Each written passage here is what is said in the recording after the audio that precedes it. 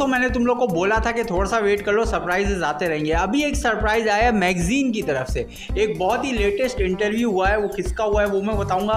सबसे पहले like video करो सब्सक्राइब करो चैनल को। तो आप लोगों को जैसे कि मैंने बताया था कि भाई एक बहुत ही फ़ेमस अदाकार को अगर ये विलन ले तो मज़ा आएगा तो वो होने जा अब इस बात में कितनी सच्चाई है वो मैं आपको बताता हूँ। एक मैगजीन की तरफ़ से इंटरव्यू हुआ है शाया इस स्टार का उस स्टार का नाम है जिसने परिजात में परिजात का रोल किया था।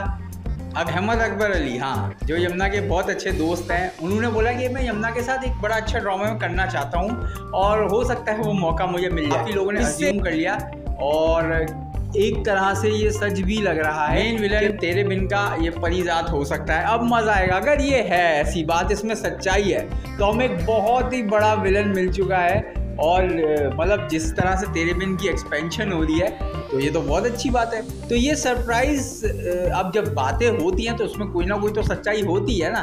तो आपको क्या लगता है? क्या आप इस चीज़ को मानेंगे कि अगर, आप इस चीज़ को मानते हैं कि फिर अगर, जो अहमद अकबर है, वो अगर ये ड्रामा करेगा तो क्या ये बहुत डबल मैसेज फिट हो जाएगा? क्योंकि इसमें तो जैर सी बात है। मैंने तुम लोग को कुछ दिन पहले भी एक बताया था स्टोरी के, अगर ऐसा हुआ कि मीरब के पीछे कोई लड़का पड़ गया, ऐसा भी हो सकता है ना? तो अगर वो अकबर अली हो तो मज़ा आ जाएगा यार कहानी में। और अकबर अली को विलन के तौर पे काफ़ी टाइम बाद देखने को मिलेगा। वैसे मैंने उनको कभी विलन के रोल में नहीं देखा, पर अब हमें बड़ा मज़ा आएगा विलन के रोल में देखने में। तो यार मज़ा आ जाएगा। बहाज, अकबर अली एंड बीच में यमुना।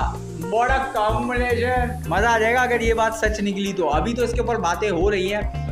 कंफर्मेशन की जैसी रिपोर्ट्स आती हैं तो वो मैं बता दूँ आप लोगों को। पर आप लोगों को क्या लगता है, मुझे कमेंट सेक्शन में बताना कि आप लोग इस न्यूज़ से खुश हैं?